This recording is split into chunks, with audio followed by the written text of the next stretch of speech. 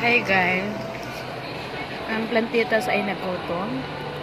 Andito ako ngayon at nandito ako sa Avocadia. Avocadaria.ph Ang sarap ng avocado nila oh. Pero ba sa lugar nyo yan? Yan, ang sarap-sarap niya. Avocado siya. Para siyang ice cream na hindi ko maintindihan ang klase. Masarap siya. Sobrang sarap.